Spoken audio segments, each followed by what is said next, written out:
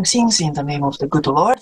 Although today I'm going to address also people who do not believe in God and who get some pleasure out of criticizing the Bible and especially the God of the Old Testament. So, since uh, I have uh, discovered such criticism uh, some time ago, I just want to get some answers from the new revelation because the new revelation, as we know, is uh, the purposes of all my videos here.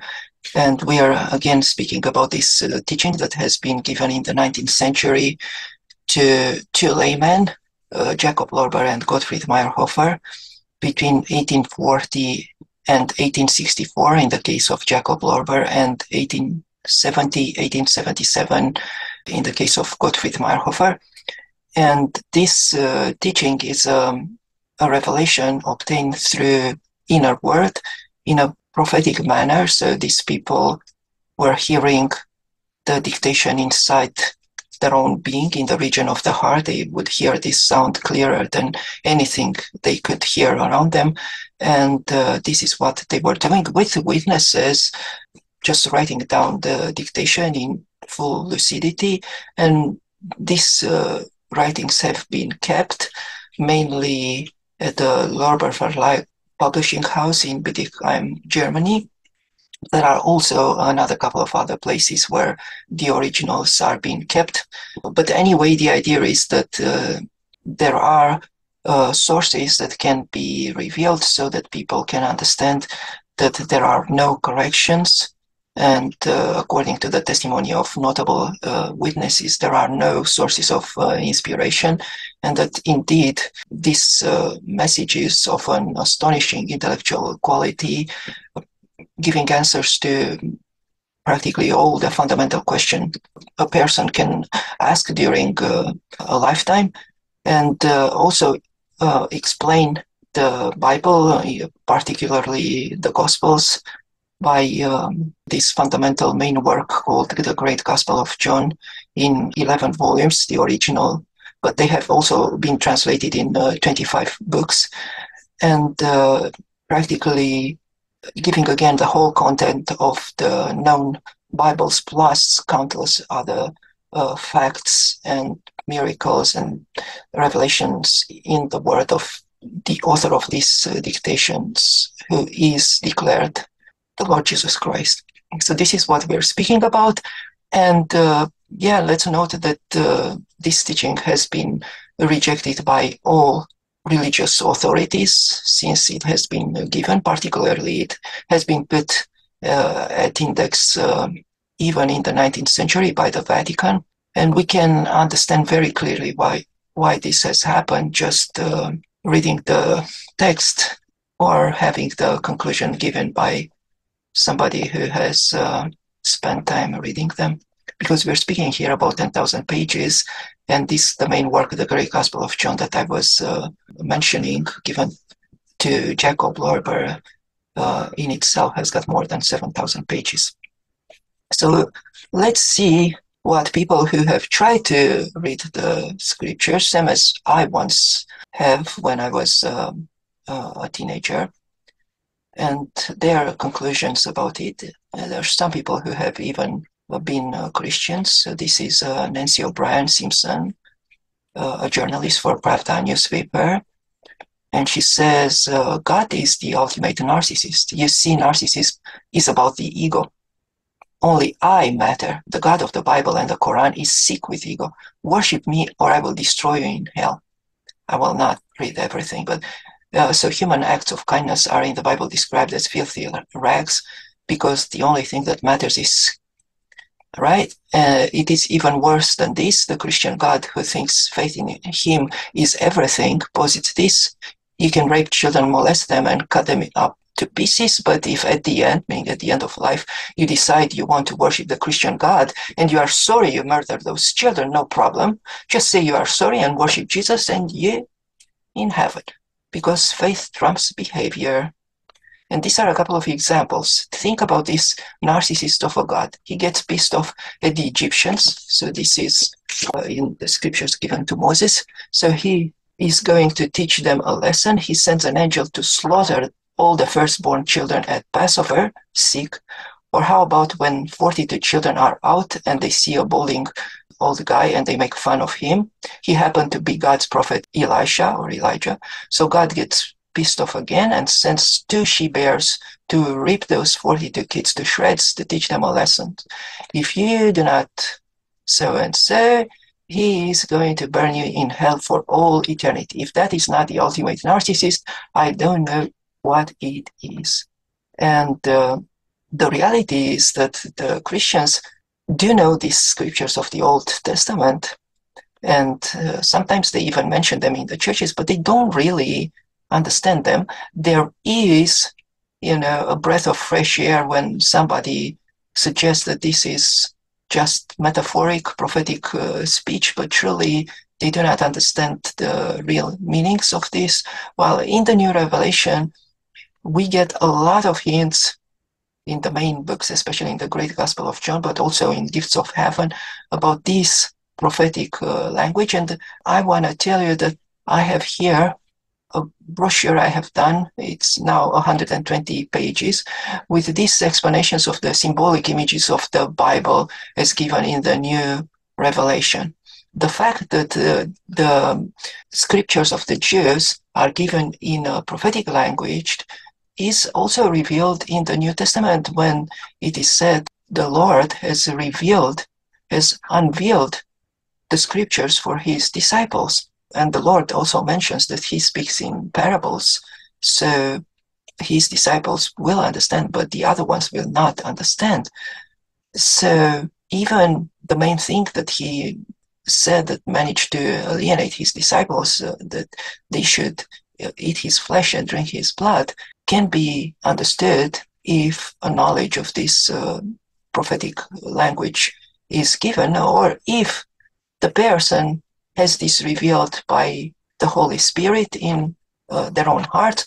But um, yeah, there's a lot of revelations here. For example, if we speak about uh, slaying, which we know there's a lot of slaying in in uh, uh, the Old Testament, there's a lot of apparent uh, cruelty, means judging, you see.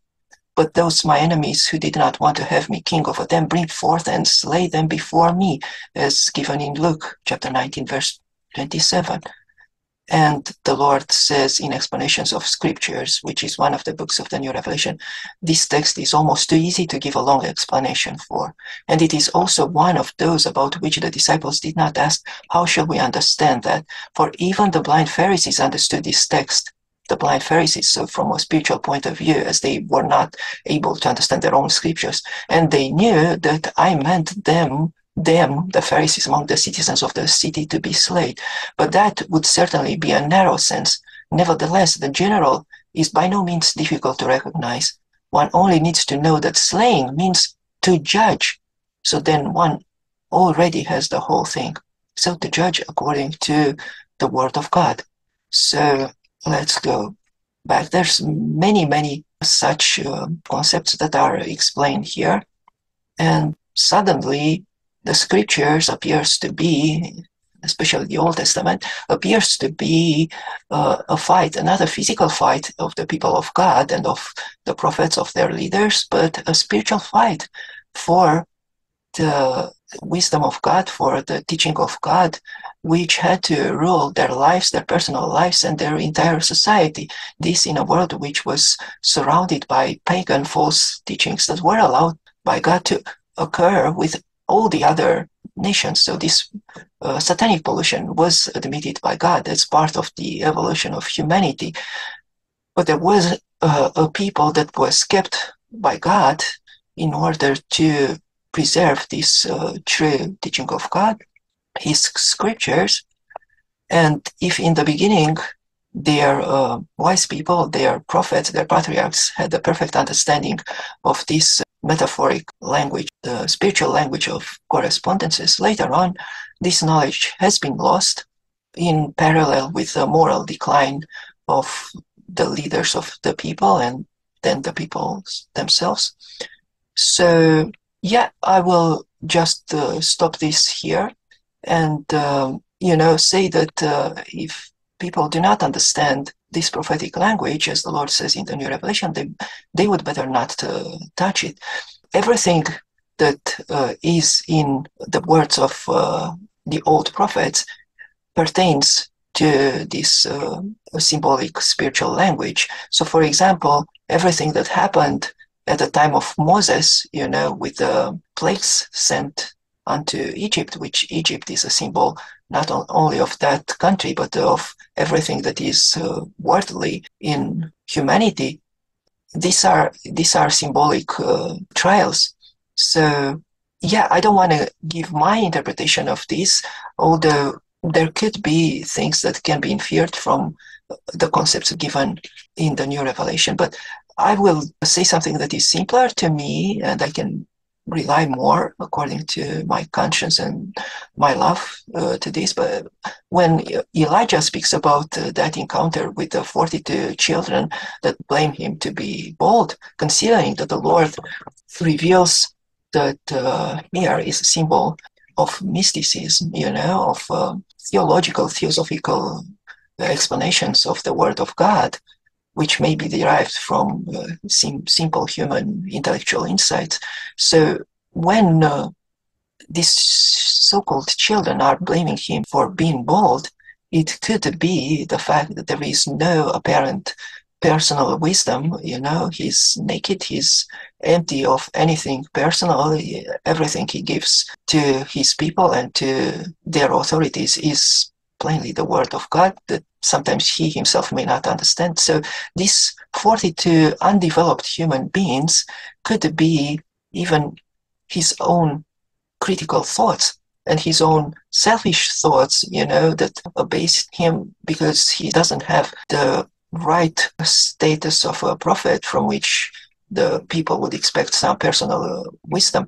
And um, then he he curses means he he rejects he uses his spiritual will to reject these uh, thoughts and he prays to God. And God sends the two she bears. So the, the she bears are two forces of nature, two important uh, driving forces inside himself, which of course are the love for God and the love for the fellow man. And these are able, you know, these are able to motivate him to completely tear apart these bad thoughts, to clean his soul and his intellect of all this uh, selfish uh, and unfortunate self uh, criticism and to stay with the proper humility of a true prophet of God. There's a lot of things in the New Revelation about uh, this humility of the true child of God, the very necessary humility of a true prophet or teacher, and the humility in God Himself, because this humility doesn't mean that somebody diminishes himself in opposition to what can really be seen. For example, somebody who's uh, more intelligent makes himself more stupid in front of a fellow man. But the right humility is to descend to the level of your fellow man, or in the case of God, of your creation, in order to raise them up to your level, to teach them, to help them develop their own uh, potential, you know, to reach a level for which they need your support. So this is the real meaning of uh, humility, and this is given in the New Revelation also. Once we have this uh, knowledge and we understand that God doesn't want to take revenge on people, you know, doesn't have an ego to satisfy, but on the contrary, he's very humble and everything he wants is to help his children, his utmost creation to get closer to him and to evolve spiritually, then everything changes. And I have put here a couple of uh, excerpts from the New Revelation in which the Lord manifests his humble and overwhelming love for us uh, human beings. And here is my favorite uh, quotation where he says, For the sake of one child, I shall sacrifice thousands of millions of sons and worlds of all kinds if I could not otherwise have it come back to me.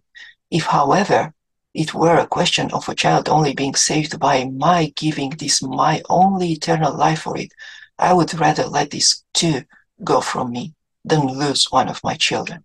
Can you comprehend such love? So this is an address of the Lord to Enoch, as given in the first book of the New Revelation, The Household of uh, God, Volume 2. And in the Great Gospel of John, Volume 5, chapter 157, in the growth of my innumerable, not yet perfected children, in their increasing insight and perfection, and in their actions arising from this, lies also my most sublime joy. Their pleasure at greater perfection achieved with much effort is also my pleasure, says the Lord. And uh, in words of the Father, which is, uh, I think, is a compilation from all the works of the New Revelation, and none of my earthly children can ever be lost, but all must be saved, whether here or over there. The work on them will never stop, and all the blessedness of my angels consists in only one thing to help save them. So this speaks about universal salvation and gives the right scale of the Lord's sacrifice on the cross. And one should also know that who died on the cross is indeed God in the flesh, which is recognized today by many evangelical and can be derived from the scriptures themselves. There are many verses pointing to this, and especially the Lord's own recognition that uh, if people want to see the Father, they should just uh, look at Him because uh, the Father is in Him as He is in the Father. So the Son of God as it is revealed in the new revelation, is the wisdom of God or the Word of God, the manifest God in the flesh. And um, the Father is the fundamental love in God, the essential being of God. And uh, the Holy Spirit is the power or the active will of God, because whatever the will of this supreme love and wisdom desires is also manifest. So the will and the power are one. So let's see what the Lord spoke to Gottfried Mayerhofer in Secrets of Life, chapter 24. That's life in the light of love. Understand thus my earthly life, and beams of light will envelop you, which you, following my example, can likewise use towards the highest bliss by doing only good, spreading only benefactions, by lifting up your own self and drawing nearer to me for treading in my footsteps, you are doing the same thing I did and am always doing. In other words, retaining your human and spiritual dignity, you shall rise to that which I want to make you, namely, children of an eternal God and forever loving Father. So, whoever has experienced true love in his or her life knows that this love is a self giving emotion that for the lover, the beloved is more important than his own being. And the main purpose of his life is to help the loved one to preserve its existence, to make him increasingly happier. And this is, uh, this is obviously the position of a righteous, loving parent. And any true parent can understand this. So God came as a manifest father for his children in order for the children to be able to empathize with him. Empathize not, you know, in the frame of an institutionalized religion, but empathize with him in their normal social and family life as fathers, as protectors, as most merciful brothers and friends of their fellow men. And here is again this God that some people imagine to be a narcissist wanting to share everything, everything that he has created and all his holy powers with his most, as he says, most lovable children. So this is also from the great gospel of John, meaning is the word of the Lord is given originally to his disciples 2000 years ago because that is what we can find in the great gospel of John. We can find, you know, the script, the exact script of many of the Lord's words and uh, people that were around him, also deeds, also miracles, everything that you can find in the known scriptural gospels, plus countless other things that not only explain the scriptures, but explain, as I said, practically everything that has been left unexplained in matters not only of uh, the theological meanings, but in matters of the purpose of life, the spiritual existence, you know, the cosmic creation, even the psychological existence of human being, many, many other facts, including verifiable scientific uh, predictions and revelations. So Coming back here, the Lord says, Of course, in myself I am since eternity in the greatest and full joy of supreme happiness, because my love, my wisdom, and my endless great power gives me in, my, in myself eternally the unspeakable, all supreme joy of my godly, in every respect, perfect life. So this is the love speaking about the joys that his thoughts, his supreme thoughts, his wisdom, and his power of creation gives him.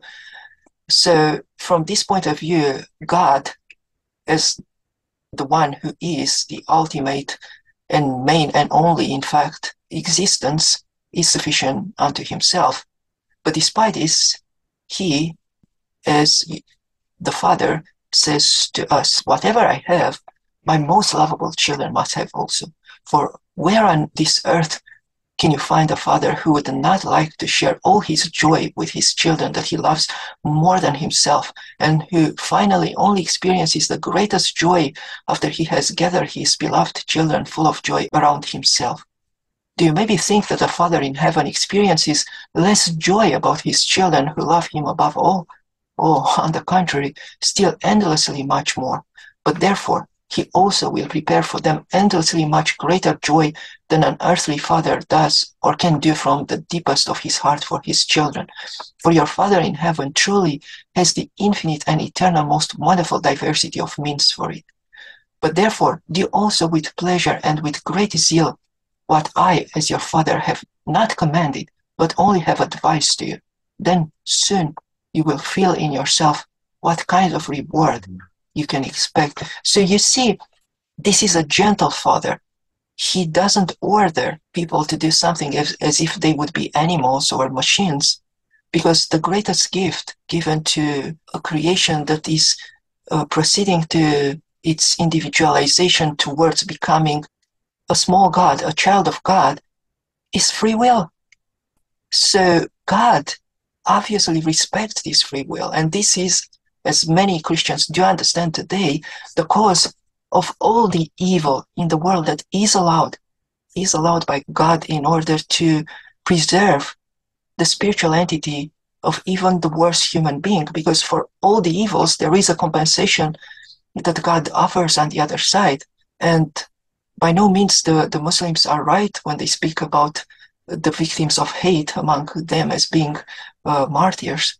They are and God takes care of these martyrs and they are closer to him than anybody else because they have suffered greatly while being innocent and sometimes while, while being very, very loving and good people, especially when we're speaking about the innocent and most loving nature of small children.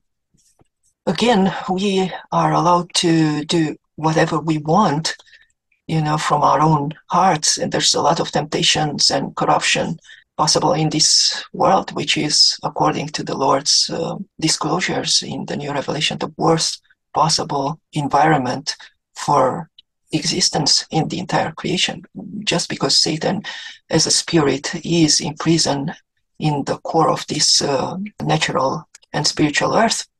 So, therefore, the the demons are most active and most powerful in their influence towards uh, humans. But this influence is also not uh, possible if the human itself doesn't allow this temptation to happen, doesn't fall. You know, as we can see clearly in the example of Adam and Eve, you know, there is a temptation coming from the selfishness of the body and also from the urge of the mind to contain everything and to rule everything by its own means, which, by the way, are very, very limited because this intellectual mind has been given only as an instrument for the soul and the spirit to be able to evolve and learn in this world. But on, on the other side, it's going to be the spiritual mind that will take over while this uh, intellectual mind will be, if not dissolved into it, practically annihilated.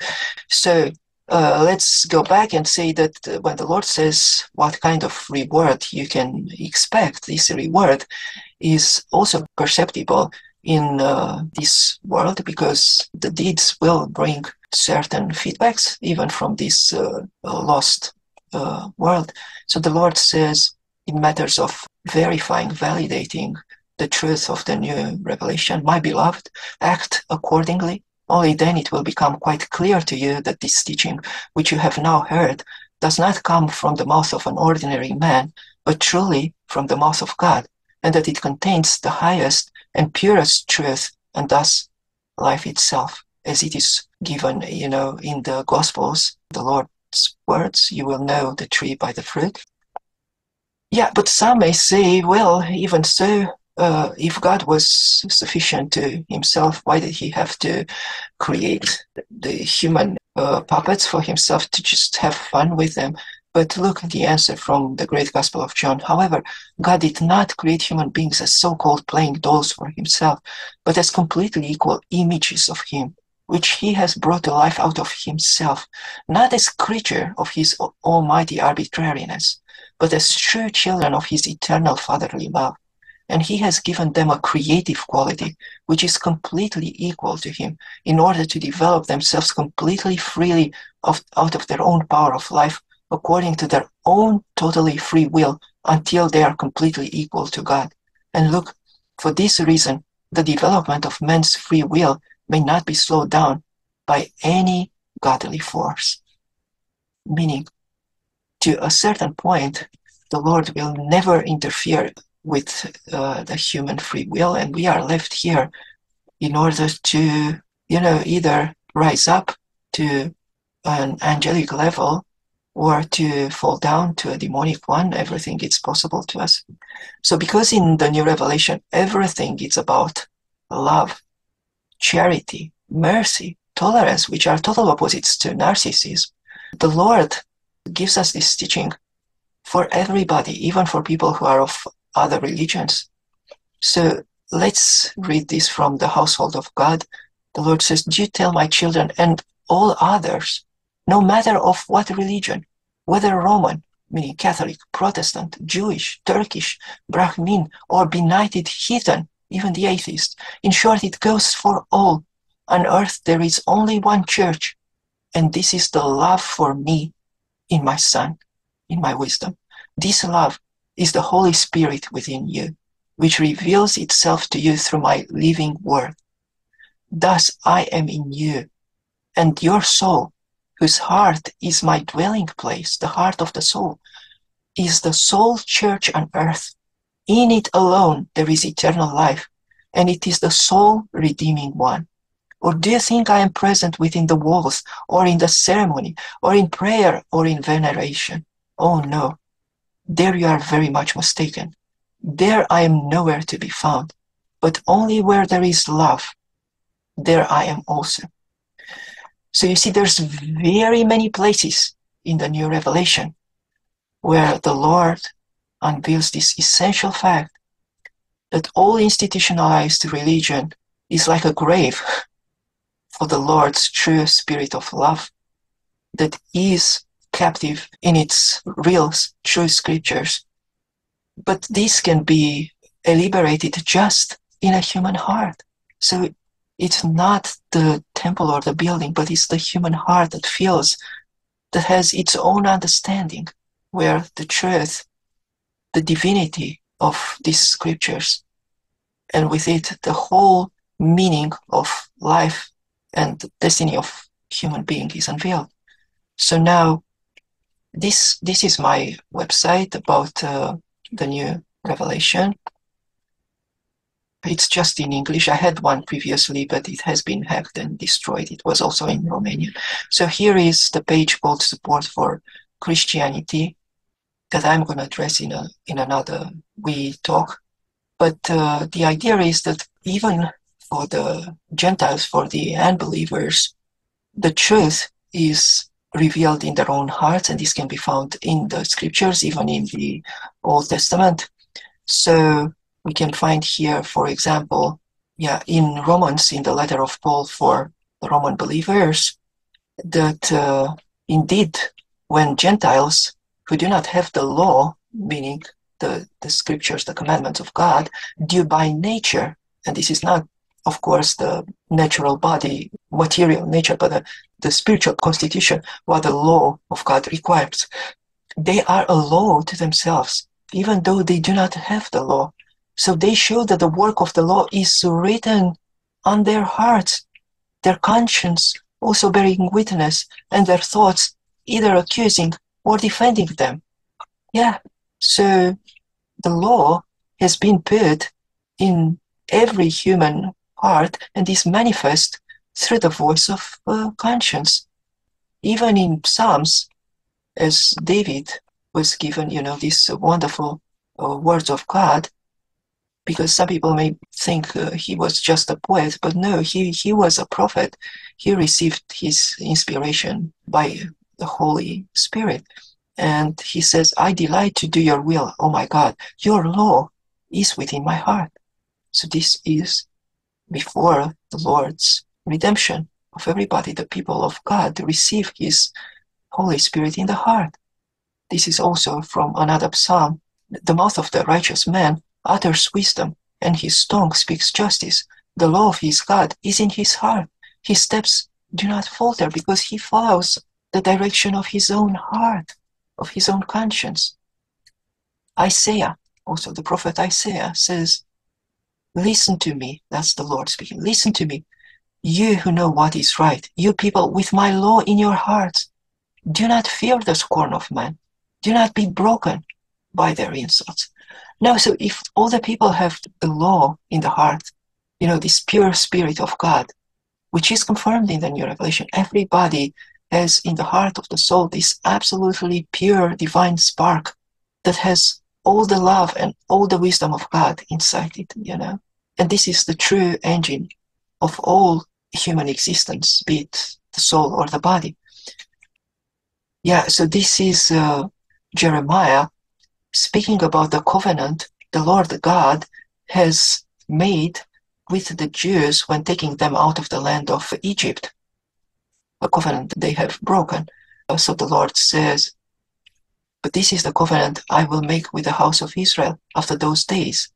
I will put my law in their mind and inscribe it on their heart, and I will be their God, and they will be my people. So this law has been put in the hearts and minds of all the Jewish people at the time. Now, considering what is revealed in the new revelation, with the spark being put, you know, in every human heart, let's consider that um, this is like a germ, a latent, sleeping germ of eternal life. And if this is not awakened by the word of God, then it is not manifest. It is not manifest even in the voice of uh, conscience. So, from this point of view, many so called Gentiles, due to the depraved education received, the spiritual education in which they are just um, drugged with lies coming from the originator of these uh, false teachings, they cannot really acknowledge, they cannot really hear this spirit, this Holy Spirit inside of themselves. So that's the role of God's prophecies, you know, to awaken, to make the Spirit more manifest. But it doesn't mean that the righteous people among the Gentiles, the people who have come to know love in themselves and let themselves be driven by love and by the voice of conscience, are not following the law as it is said, they are a law unto themselves. This is uh, reminded by Paul in Hebrews, this covenant of having the law put in the hearts and minds of God's people. Yeah, so that's why when the Lord, it said that will judge the people, in fact, we know from him that his own word in the hearts of people, his own spirit will judge them. This is very much explained in the New Revelation as happening on the other side with everybody. So let's say in Romans 2, we find out, yeah, about the Gentiles. So, so they, meaning the Gentiles, so they show that the work of the law is written on their hearts, their consciences also bearing witness, and their thoughts either accusing or defending them on the day when God will judge men's secrets through Christ Jesus as proclaimed by my gospel. And then comes the critic of Jew. Now, if you call yourself a Jew, if you rely on the law and boast in God, if you know His will and approve what is superior because you are instructed by the law, if you are convinced that you are a guide for the blind, a light for those in darkness, an instructor of the foolish, a teacher of infants, because you have in the law the embodiment of knowledge and truth, you then who teach others, do you not teach yourself? You who preach against stealing, do you steal? So, yeah, this speaks about a righteousness that may be obviously greater among the Gentiles who, from themselves, from their inner spirit of God, are doing the right thing, you know, with love, with the virtues of conscience, while, you know, the ones simply guided in their mind by the law can trespass it, uh, can find ways to trespass it. And in fact, all institutionalized religion is nothing else but uh, a way to do this. A way to strain out a gnat and swallow a camel, as it is uh, said by the Lord, you know, in Matthew 25, I think. So, so again, coming back to these uh, people who are doubting the goodness and the humility and the perfect fatherhood of God, this is due to real uh, issues with um, comprehending of uh, the Old Testament. And unfortunately, the actual uh, Christians cannot really explain them. So uh, they try to make a sort of a compromise between the Old Testament and the New Testament, in which uh, they have a God of love in the New Testament, especially manifest in Jesus, and uh, a God of uh, justice manifest in the Old Testament. But um, again, the new revelation is necessary. The good Lord has given us uh, these uh, scriptures, these pure scriptures that have been in reality predicted even in the Old Testament. And I have this uh, study here called The Strong Link Between the Bible and the New Revelation. So you can get here and find verses in the Bible pointing to a new teaching from God in relationship uh, to the second coming. So, yeah, this teaching has been predicted is very necessary because Christianity, first and foremost, cannot defend herself without the true knowledge of their own scriptures, especially in these times in which, for now, a more covert uh, Armageddon is uh, unfolding, but in fact, uh, the war against the Lord and particularly Christianity is uh, gonna get really hot soon. So, yeah, there are answers. And some of these uh, people that have uh, discussed this issue are obviously very good people that want to meet a God of love, a God that is understandable, that they can really follow with their heart and their conscience. And this is the God that you can find in the new revelation and demonstrably is the same God, the same Jesus, and the same scripture as we have in the Bible. So for whomever wants to get a proof of this, or whomever wants to get a bit more taste about what the new revelation is uh, giving in comparison to other religions or branches of uh, Christianity, I have here a list, a spreadsheet even, in which we can find the main traits or tenets of the new revelation in comparison to other religions. Of course, everything is uh, disputable because it's the result of my own readings and uh, experience. But uh, I'm very much sure that what I have put here on the column of the new revelation is quite uh, reliable. So what we have in the new revelation is uh, a religion in which there is no cult of relics or iconolatry, no ceremonials, no need for priests or saints or, or any other created beings intercession. Everything is between the human heart and the creator, God. Salvation, as we have seen before, is possible for people outside the denomination exactly because the law is in the heart and minds of people.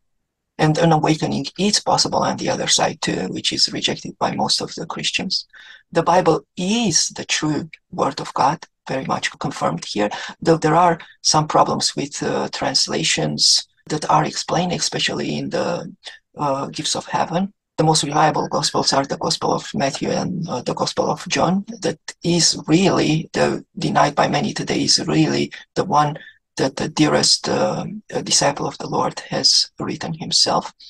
The church is the fellowship of the believers, while the temple, the building, uh, and its organization have no importance.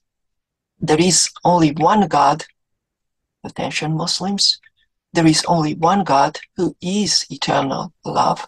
However, this God is also a trinity, meaning one being with three fundamental aspects of manifestation. Same as us, is comprehended uh, by all these religions are a body, a soul, and a spirit, and still one, one only. But as we know, we are created in the image and resemblance of God, so we can understand God is triune also.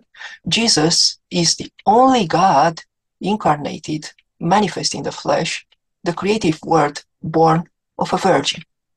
Jesus is the Savior. He taught and done miracles, died on the cross, and by this he atoned for the sins of humanity. By the way, speaking about his atonement and his death and his resurrection that I have not mentioned here, that's a great mistake. Let's remember that the Shroud of Turin is a great proof of the miracle of the resurrection of uh, the Lord. And there's a lot of scientific uh, testimonies about this. Uh, you can find them on uh, YouTube, just for the Shroud of Turin. A lot of research done with the most modern means of investigation proving that what happened there with the body was indeed um, an extraordinary manifestation of uh, energy that uh, dissolved the body in an instant. Main commandments in the New Revelation are same as in the Bible, are love for God and the fellow man. The Ten Commandments are also explained from a spiritual perspective, even from several spiritual perspectives. The reborn in spirit, the people who are reborn in spirit, are the ones perfected in the love for God and fellow man and in humility. Because Jesus, the Lord, expresses the ultimate humility of God. And I have tried in my poor words to explain what this humility really means before. Earthly humans are created to become children of God, which is the highest rank in creation above the angels, you know.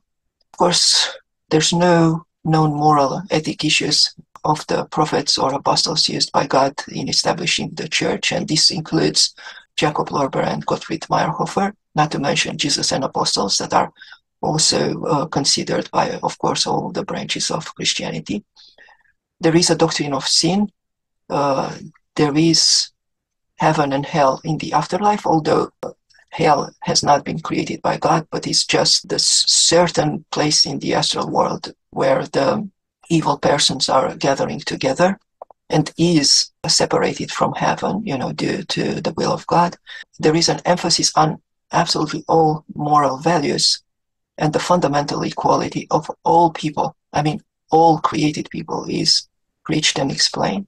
There is a promotion of chastity outside of marriage and inside, except uh, for the purposes of procreation. Immortality of human soul and universal salvation are explained. As I said, hell is a creation of sinners.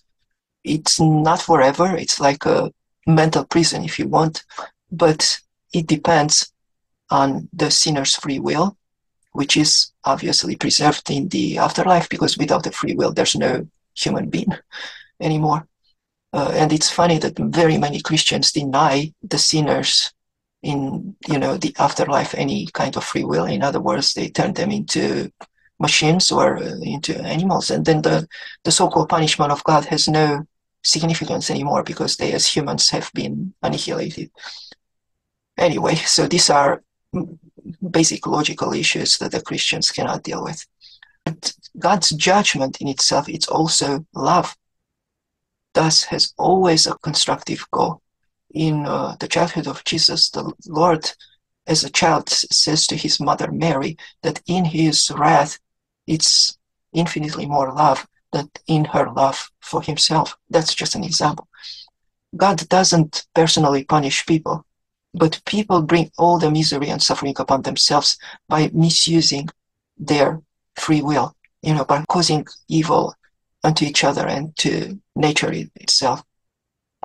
many Christians do understand this, but they also, because they do not understand the old scriptures, the Old Testament, they also consider that God personally punishes uh, people, you know, when he gets too upset. While in New Revelation, we understand that nobody, absolutely nobody can offend this God of mercy and love.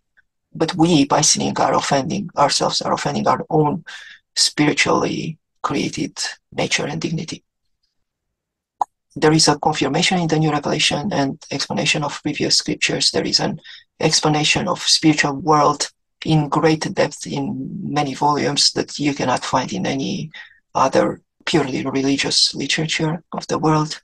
Maybe except, you know, some theosophy or anthroposophy, but not in any of the big religions. There is an explanation of natural world from a purely spiritual perspective, which is even lacking in the ones that I have uh, mentioned. Although there is more in anthroposophy, I speak about the revelations of uh, Rudolf Steiner, but they diverge very much at a certain point from this uh, revelation uh, through Jakob Lorber and Gottfried Mayerhofer. There are exact scientific and technological facts and predictions. That's for another presentation. Hopefully, I will be able to do this.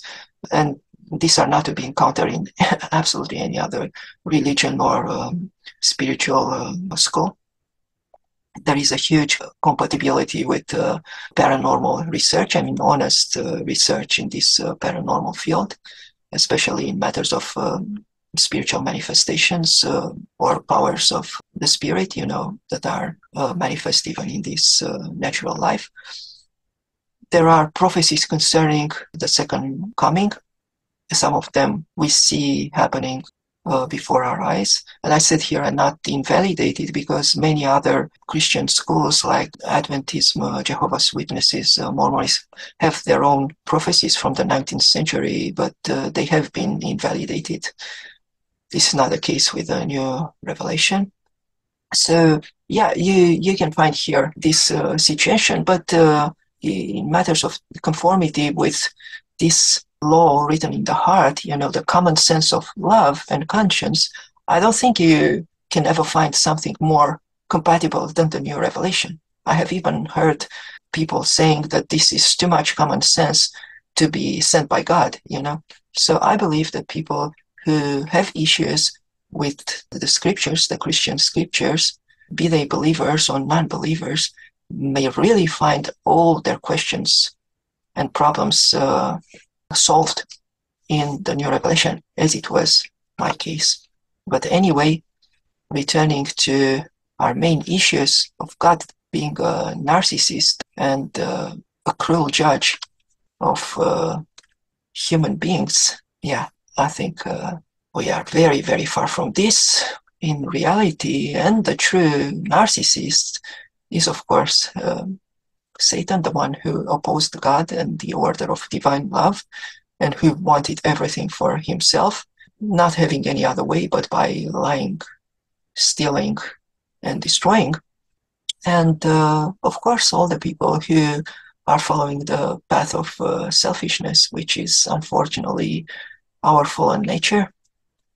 We can observe this since uh, early childhood, but we are here in order to awaken in ourselves this uh, spirit of uh, true love and compassion and tolerance.